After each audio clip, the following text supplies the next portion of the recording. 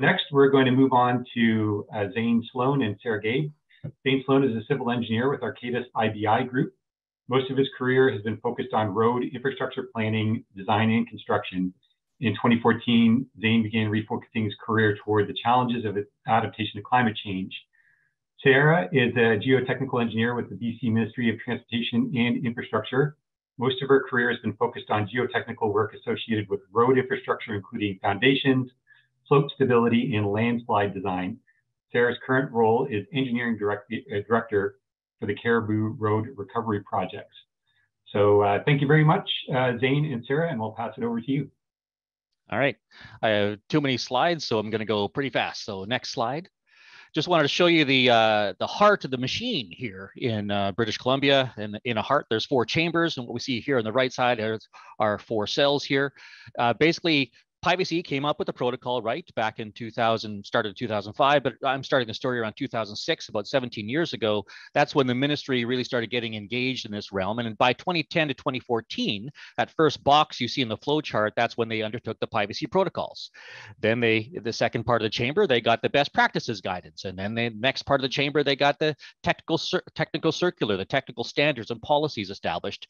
And then knowing the high risk items that we have here in province, that's when we're getting to more detailed climate risk assessments. And that's that bottom part of the flow chart. Next slide, please. Just wanted to point out how this aligns with the flow chart from the climate lens from Infrastructure Canada. First step, get your vulnerabilities figured out. And then you figure out your medium and high risk items to get into detailed climate risk assessments. And of course, the end product is here to select and implement relevant resilience measures. And that's where we're all headed. Next slide, please. So this is just to show the five PIEVC protocol assessments that the province undertook between 2010 to 2014 and encompasses a range of climatological conditions in British Columbia. Next slide, please. Out of, uh, they grouped uh, infrastructure into many, many categories, uh, almost 100 or so, but in the end, they realized, they came to the conclusion that there are 14 categories at high risk in the province uh, and five climate hazard events are largely responsible for these high risk things happening. Next slide, please. Of course, once they figured out what was high risk, they, that's when they developed these best practices. Next slide, please. This is the policy, the technical circular, that was important basically to tell engineers, if you design infrastructure for the province, you got to take climate change into account. Next slide, please. Now, 2020, 2021, we get a bunch of landslides in the middle of the province. Uh, this is the Cariboo Road Recovery Project. Next slide, please. It's located here in the province in the middle, right in between all of those other PIEVC protocols that were done previously. Next slide, please. But then, of course, as everyone is aware, that the November flood disaster happened here. And I'll even read off some of the things that were discovered that, that were at high risk, such as, and you can see them all destroyed here, embankment cuts, hillsides, debris torrents, structures that cross streams, that's your bridges, river training works, pretty much anything in the water, culverts, asphalt spillways, in-stream habitat works, off-channel habitat works, and of course, what was the culprit? precipitation events, extreme hazard events, and that's what was theorized during the PIEVC protocols and now confirmed here as the disasters really started to hit British Columbia. Next slide, please. Enter stage left, the PIEVC high level screening guide. So this came out in February 2022, and we realized we can undertake this, use this tool for a detailed climate risk assessment, looking more closely at these 14 categories at high risk. Next slide, please. So what do we do? We take that PIEVC high level screening guide spreadsheet, we pre-populated it, pre-populated it with these five climate hazards and these elements that we know that are already at high risk. And we want to give this pre-populated spreadsheet to the design team so that they can start to populate it with the actual infrastructure they're currently designing that fall under these categories that are at high risk. And I got a gold bar on the right side where I say, this is the gold. This is really what we're after here. We want to have these conversations with the design team about these high risk elements, considering these climate hazard events to figure out is there still anything at high risk in their design as they're currently designing it. Next slide, please. So this is the, the first uh, project we undertook. It was for the Kersley-Dale Landing Road project. And what you see here is the alignment of the road alongside the Fraser River. We can see in this air photo the difference between forested areas and, and where the drainage arrows go. Those polygons are the drainage catchments that we needed to consider along the way. Next slide, please. We also, of course, had the design plans to go along with it, profiles, cross sections, and plan views. Next slide, please. This is what the actual, the end product, after we undertook workshops with design teams, this is what it looks like from a distance, right? And what did it pull out? What did it identify? It identified what's at low risk, medium risk, and where there is still anything at high risk. Next slide, please.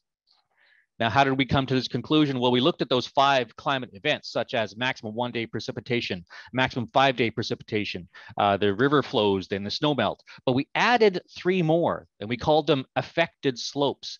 This was to take into consideration for compounding and sequential events, such as scorched earth or mountain pine beetle or land use changes, logging roads, uh, rain on snow melt events, and, and things like that to expand our consideration uh, of, of risks. Next slide, please. All right, and of course we had to assign our likelihood scores, and that's what Jeff alluded to in his presentation there, talking about the uh, middle baseline method. And what we were looking for here was the trend. So I was working with Jeff O'Driscoll on this actually, and, and he and I uh, went to climatedata.ca, took a look at the trends for these, you know, maximum one day precipitation, maximum five day precipitation, and we saw the trends going up. We had a meeting with Pacific Climate Impact Consortium to get a better idea too of, of climate trends in this area. And we didn't have, so we assigned our likelihood scores typically three, four, five, middle baseline method, using a three for present day, four for the 2050s, and, and five for the 2080s, because that's where the trend was going. We did not have data when it came to river flows. So we assumed, well, we're looking for risks. So let's let's assume that that is also increasing, the trend is going up. So you can see we integrated indicate that as a as a dash for the present day, then a plus for the 2050s, and a plus plus for the 2080s, indicating an upward trend. And that was our assumption, trying to uncover the actual risks. Next slide, please.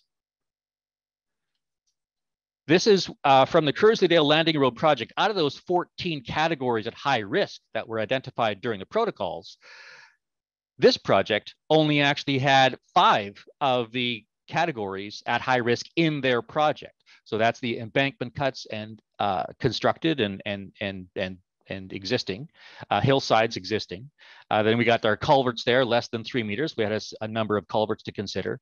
Emergency responses and of course the road subbase we considered as well. Next slide, please. So that was where we got together in a workshop uh, using a bit of a middle, middle baseline method approach as well to assign the consequence scores. And really this was the whole thing. The whole workshop really just focused on these consequence scores and of course the discussion that went along with it, which we recorded with a diligent scribe who was recording the consequences and the discussions along the way. Next slide, please here's what we found. Here's, I'm circling here uh, from our spreadsheet what came out as, as a high risk element that still existed. Here you can see the cross section on the left side there where we got a 2.85 to 1 cut slope, which is a pretty flat cut slope. But we're talking about an area here that has now experienced a lot of in, interesting precipitation events after long drought events and the ground turned a bit to mush and we have problems here and we came to realize that that the analysis here could be deeper Let's go to the next slide, actually. And this was the discussion we recorded that really got, and we recorded all this conversation and even had some design considerations and actions for the designers to consider. And that's where the, all this was recorded in the spreadsheet there. It's all documented one-stop shopping. So we can, the designers can then see what we considered in this workshop and also maybe some suggestions to work on along the way. Next slide, please. And with that, I'm, I'm kind of out of time. I'm going to pass this over to, to Sarah Gaib, so what what's happening now is we've we've handed this spreadsheet off to the designers for them to consider. Now the project has taken some twisted and turns since then, uh, but but that's where we're headed now is to actually to compensate and mitigate those risks that we identified during the workshops. So over to Sarah to, to talk about uh, what we're doing next. Thanks, Zane. And so I'm just going to speak to the assessment that was done and um, any you know gaps um, or opportunities for um, improvement that we feel can be applied to the assessment. So next slide, please.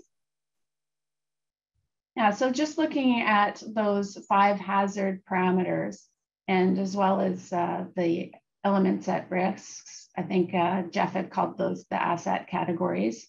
Um, so there's there's five and 14 of them.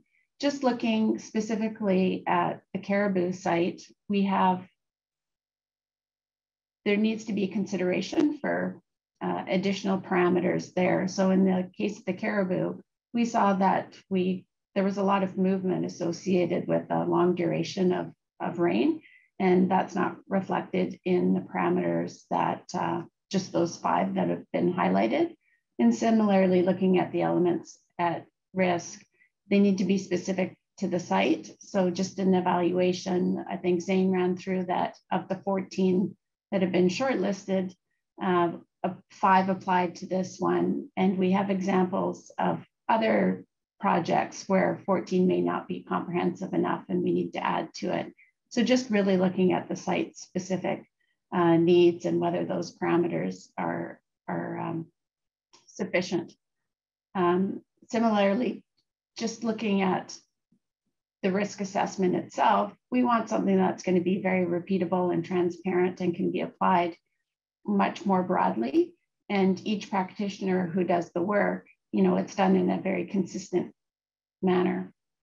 So looking at the work that was done, um, the consequence, uh, it's very, I guess, vague.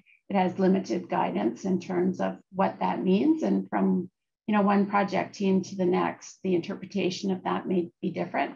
So the ministry has, you know, different um, different examples of how we've uh, we, we've done this for other um, other prioritization work, such as our rockfall hazard rating system or how we do seismic retrofit.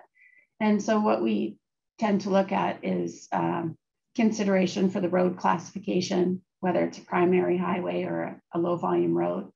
You consideration consider the operational impact.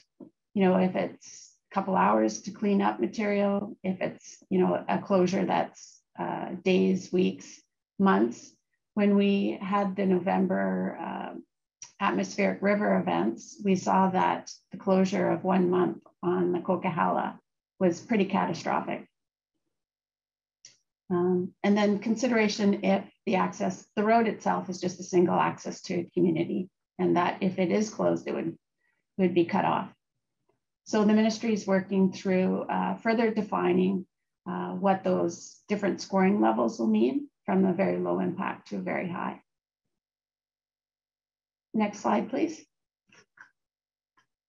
And similarly, uh, both Zane and, and um, Jeff have talked about the probability. So we're here, we're looking at the trend, you know, is it getting wetter? Is it getting hotter? Um, the approach that was taken here for the Kersley-Dale, so I've copied over the, the Kersley-Dale numbers and just looking in that first column, the one day rainfall went from 23 mils to 25 to 29. And Zane's correct, the trend, you know, it continues to go up. And so it was uh, scored three, four, five and that's very conservative.